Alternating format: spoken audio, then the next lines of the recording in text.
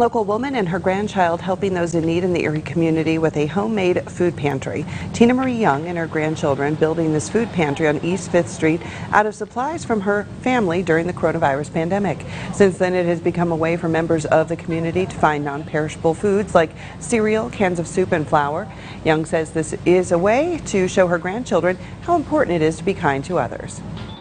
I wanted them to see that, you know, just because things like that are happening, that you still got to be good to others. You know, there's goodness. You know, you give goodness and you get goodness back.